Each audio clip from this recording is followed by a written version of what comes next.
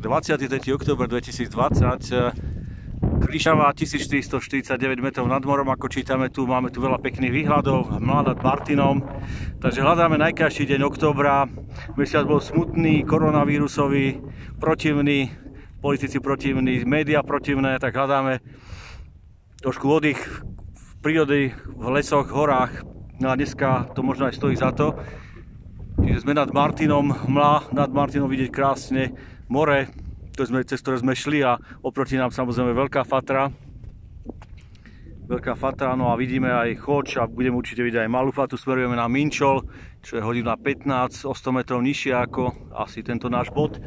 Tak to tu vyzerá na vysielači Kryžava hovorím je október, ale radšej by sme boli, keby bol nejaký jarný deň, ale to sa ešte musím počkať si ešte pár mesiacov ale je to tu nádherné, dáva to svoje čaro, dáva to svoju frekvenciu pozitívnu, ako bola v našej debate dneska. Je spektrum. Dobré spektrum, farebné máme, áno, výborné, aj dobre sa stále to vysiela, oddychuje, pozerá na tieto naše krásne, krásne hory. Takže hory, keď nám bolo vždy najhoršie, tak sme sa obracali k horám a dnes to takto robíme.